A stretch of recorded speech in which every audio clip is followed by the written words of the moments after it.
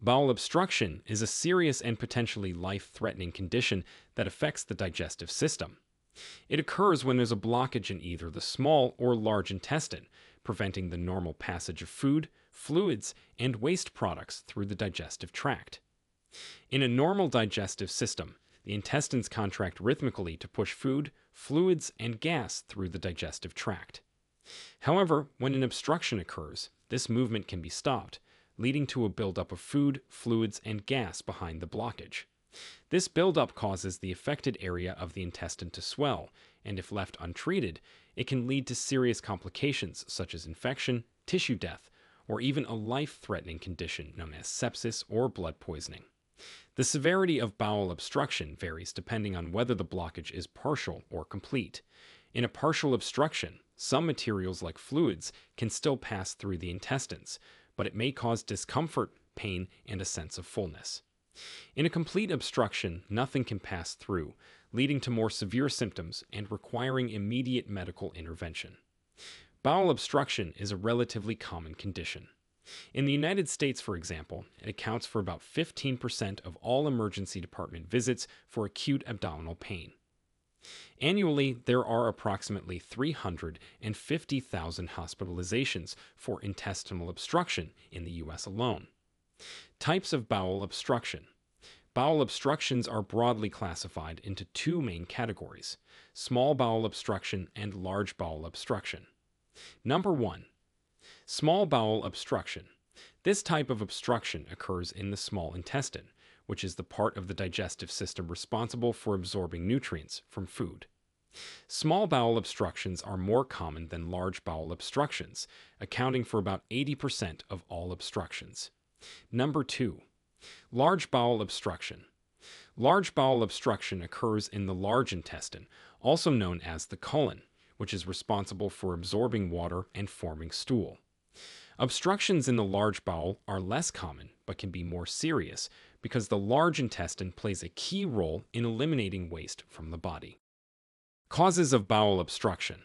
The causes of bowel obstruction are diverse and depend on the type and location of the obstruction. One of the most common causes of obstruction is adhesions, which are bands of scar tissue that form after surgery. These adhesions can pull or twist the intestine, creating a physical barrier, which prevents the normal movement of food and waste through the intestines. Adhesions are particularly common after abdominal surgeries, and they can develop weeks, months, or even years after the initial procedure. Hernias are another significant cause. This is where a portion of the intestine pushes through a weak spot in the abdominal wall, potentially becoming trapped and obstructed. Tumors in the intestine can also cause a physical obstruction by growing large enough to block the passage of food and fluids. These can be benign, which means non cancerous, or malignant, which means cancerous, and they are more common in the large intestine, where they can grow undetected for some time before causing symptoms. Volvulus is another potential cause of obstructions, where the intestine twists on itself, cutting off its own blood supply. This is more common in the large intestine, particularly in the sigmoid colon. Other than these causes, diverticulitis, which is an inflammation or infection of small pouches in the colon wall, can also lead to an obstruction if these pouches become swollen or filled with pus. Intussusception is another cause, particularly in children, where one segment of the intestine telescopes into another, leading to a blockage. This condition is less common in adults but can still occur, often associated with a tumor or other abnormal growths. In addition to these mechanical causes, there is a type of obstruction called pseudo-obstruction. In this case, the symptoms of bowel obstruction are present, but there's no actual physical blockage in the intestine. Instead, the problem lies with the functioning of the muscles or nerves of your intestines. So the intestine fails to push its contents along properly, leading to symptoms that mimic a true obstruction. Causes of this type include infections such as gastroenteritis, which can lead to temporary paralysis of the intestines, resulting in symptoms similar to a bowel obstruction. Medications that slow down the movement of the intestines, such as narcotics or certain antidepressants, can also lead to a pseudo obstruction. Neurological conditions, such as Parkinson's disease or multiple sclerosis, can also affect the nerves controlling the intestines, leading to impaired motility and symptoms of obstruction. In some cases, bowel obstructions can be caused by less common causes, such as foreign objects that have been swallowed or gallstones that have entered the intestine. Symptoms of bowel obstruction. The symptoms of bowel obstruction can vary depending on the location and severity of the blockage. Abdominal pain is often the first and most noticeable symptom. The pain is usually crampy and intermittent, reflecting the intestine's attempts to push material through the blockage. As the condition progresses, the pain may become constant and more severe, particularly in cases of complete obstruction. Bloating also occurs as gas and fluids build up in the intestine behind the blockage, leading to a distended abdomen. Nausea and vomiting are also common as the body attempts to expel the contents of the stomach and intestine that cannot pass through the blockage. In cases of complete obstruction, vomiting may even include material that has backed up from the intestine, giving it a fecal like odor. In cases of obstruction high in the small intestine, vomiting may occur soon after eating. If the obstruction is lower down, vomiting might be delayed or less frequent. Another key symptom of bowel obstruction is the inability to pass gas or have a bowel movement. In complete obstruction, this symptom is usually present from the onset as nothing can pass through the blockage. In partial obstruction, patients may still be able to pass small amounts of stool or gas, but these become less frequent as the obstruction worsens. Some patients might experience paradoxical diarrhea, where only liquid stool from above the obstruction manages to seep around the blockage. In some cases, patients might be able to hear increased bowel sounds or see visible peristalsis, which are wave like movements of the intestines trying to push contents past the obstruction. As the condition progresses, more severe symptoms can develop. These might include fever, rapid heart rate, and signs of dehydration like decreased urine output and dry mouth. Diagnosis of bowel obstruction.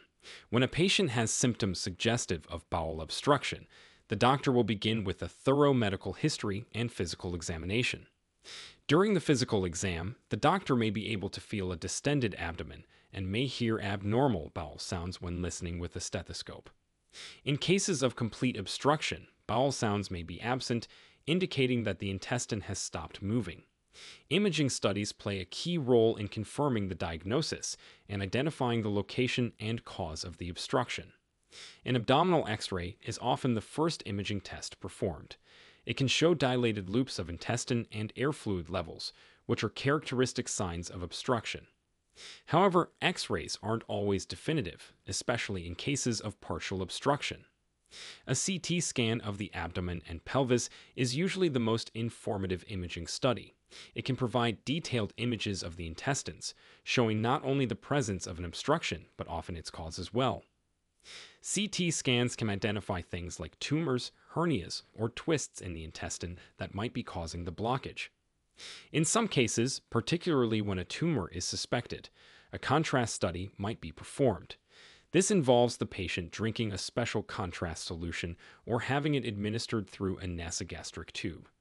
Then X rays or CT scans are then taken to track the progress of the contrast through the digestive system, which can help pinpoint the location of an obstruction.